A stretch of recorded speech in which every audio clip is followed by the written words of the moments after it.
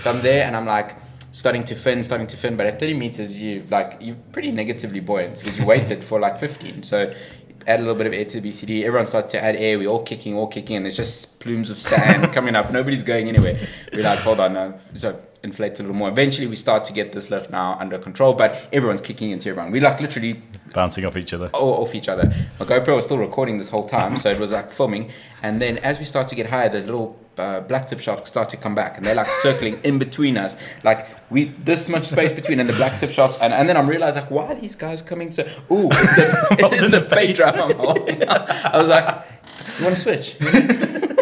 I'm tired now. You hold this. And then in the back of my mind, I'm like, hold on, we had a tiger shark in this time. So now you're trying to bring this thing back to the surface, but you're also like watching behind you the whole time.